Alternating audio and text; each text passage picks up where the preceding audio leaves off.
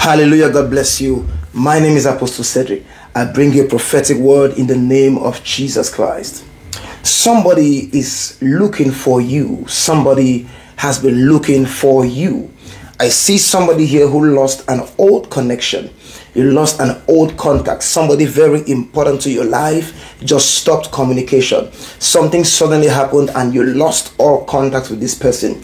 This person has been looking for you. Something happened to the person which had to lead to the closure of communication, which had to lead to the ending of that communication. But I see this person has been looking for your number and has been looking for you.